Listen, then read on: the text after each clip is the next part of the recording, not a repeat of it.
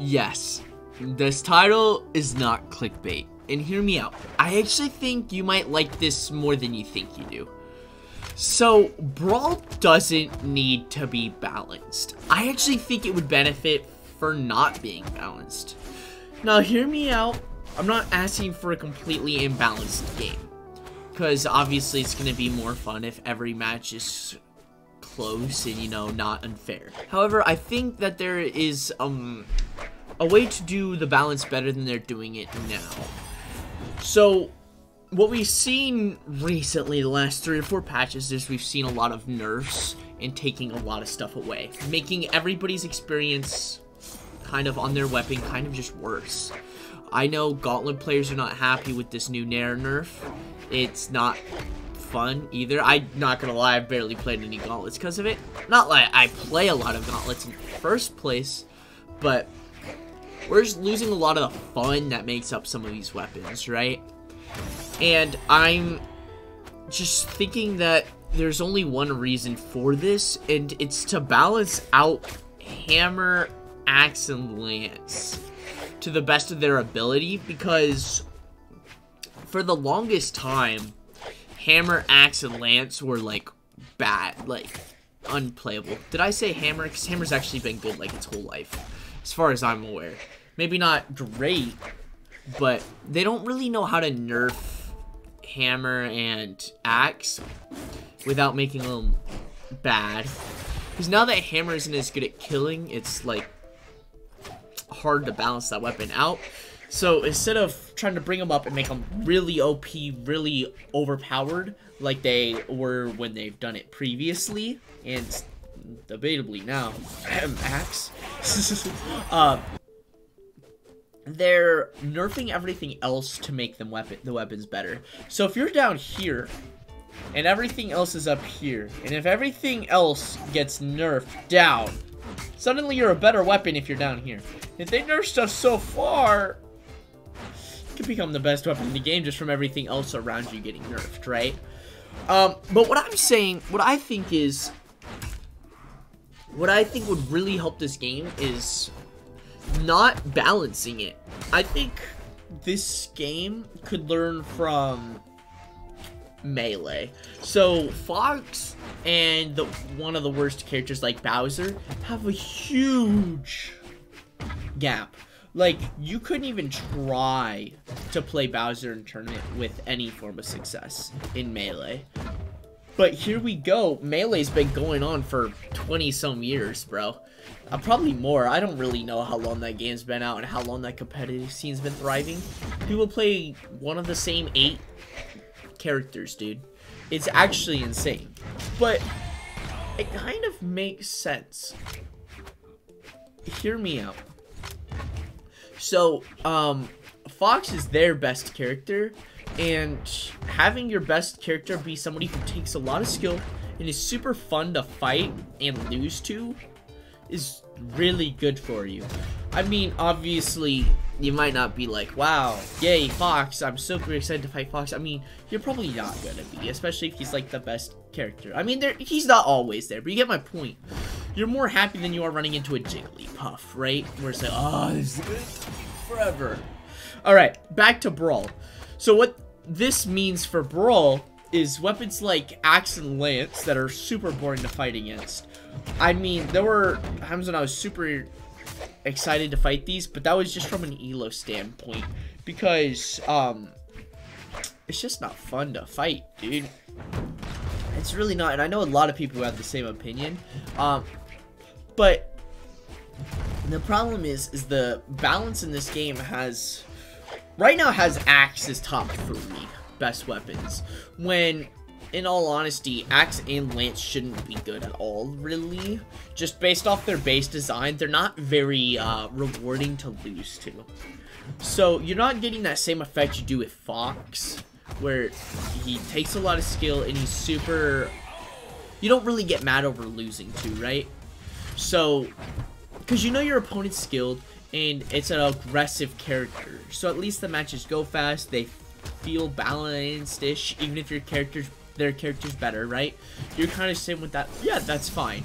Takes a lot of skill to get there. Axe and Lance are the opposite. They're super easy with super high reward right now. And they kind of do everything. Axe and Lance can kind of kill. I mean, they're not no sword or hammer. Heck, even blasters probably kill better than both of them. But, you know, they have the kill potential. Even if you do have to get a little creative. Axe will eventually kill off a D-Light eventually. I reckon to say flipping Lance is worse than killing, worse at killing than Axe. So you got D-Light to kill on Axe eventually. And if that doesn't hit, N-Light. It's literally 50-50. That's like super consistent killing. Then they have like really good damage build up. More so, Axe has the really good damage build up. The thing about Lance that's so scary and busted about Lance. So, I'm not gonna lie, I've been having less problems with Lance since the nerf. It's been seeming less overpowered. But genuinely, I don't know if they nerfed it the way they should have. Because I didn't really feel like I had much of a problem with Nair combos. I mean, obviously I did. I mean, Nair's insane. But I'm kind of fine with Nair being insane. But getting hit by one sidelight dare push you in such a bad position. Let's imagine this is the corner stage. You get hit. You're like way down here. You're like near the blast zone at white. And then one jump read and it's over. so it's just like it's it it's surprising they haven't done anything about that. I, I but at the same time it's like I feel like the weapon would be really bad if they did. Which is what I'm getting at. Because that combo I struggle against as somebody who's flipping top 500 in the region. What about everybody else? Diamond is like 0.2% of players, bro. So the get good argument is terrible. Because if everybody got good enough for that, Diamond would be gold. it, it, you can't really ask that of people. So I'm assuming that since I've had this problem and I I used to have friends who used to struggle with it all the time, they haven't gotten rid of the combo. So I'm assuming it hasn't changed over the last year and a half. I'm assuming lower level players don't like getting zero to death by lance. It's not fun. Which is what I'm trying to get at. Those weapons that are super easy, extremely rewarding, that aren't fun to lose to, should be, like, worse. Like, measurably worse. Um, and especially Axe and Lance, because those weapons are forever gonna be top tier. I think if you even made those weapons pretty darn bad, they'd still be top tier. I mean, they've been pretty darn bad in the past, right? So, hear me out. What this allows, if you nerf those two weapons, maybe I don't know. We'll just we'll just leave it at those two. I don't need to start a debate about every weapon that should be nerfed to a certain extent, because it literally might just be those two. Um, but and you nerf those two down, suddenly we see less Ulgrims, we see less Teroses, we see less Scarlets. Trust me, I know you've been hit a lot by a flippin' Scarlet Sig, or tilted at a Teros who hits you with an N-Sig or a crazy signature that kills you at 40. It's, it's, an, it's an experience, right? But, um, if you get rid of them, they they're less common unless the person actually wants to play that legend because they think the design is cool.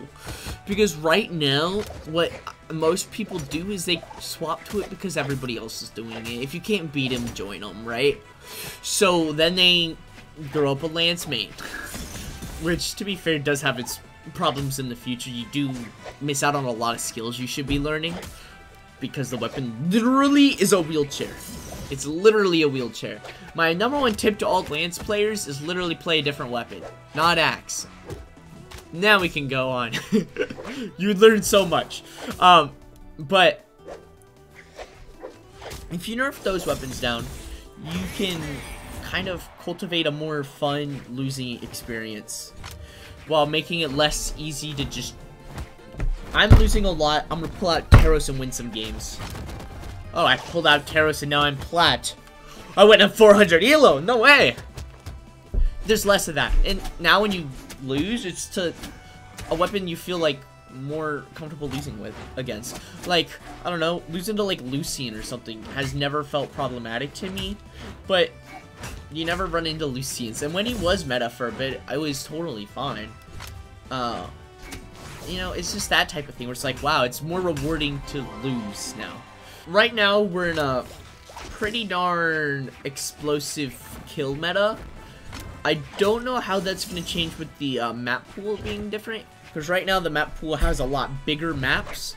So I feel like a lot of the low attack legends are going to struggle. So that means like higher um, damage characters that have consistent killing or explosive killing are going to do better. So characters like Teros, he's consistent killing from his Axe, N-Light, D-Lights, and Stomp, Sayer, and whatever. And then his Sick Kit, bro. If you're on Brawlhaven, which is like the only small map, bro can kill you at like 20 if he's like at a good position in like 60 from center stage. It's like insane. Like pretty darn explosive. We're just kind of right there right now. But With the bigger maps, probably less explosive kills, but now we'll be wanting more consistent and I guess later explosive kills. So I guess Axe is still going to be really good. So, I don't know. Because Axe shouldn't be good at a top level because then it's even better at a low level. Same with Lance. Granted, Lance isn't too good right now. We should probably get nerfed even more, funny enough. I don't know. That's my two cents on the topic.